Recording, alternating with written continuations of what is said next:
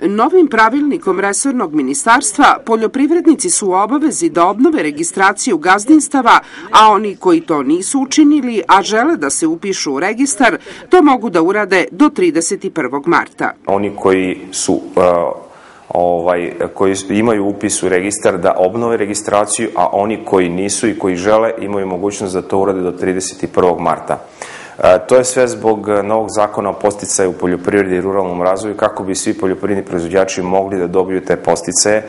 Neophodno je da to urede do 31. marta. Iz Uprave za trezor najavljeno je da će onima koji već imaju registrovana gazdinstva obrazci za obnovu registracije biti upućeni na kućnu adresu. Oni koji tek nameravaju da registruju gazdinstvo to moraju da učine lično kod Uprave za trezor.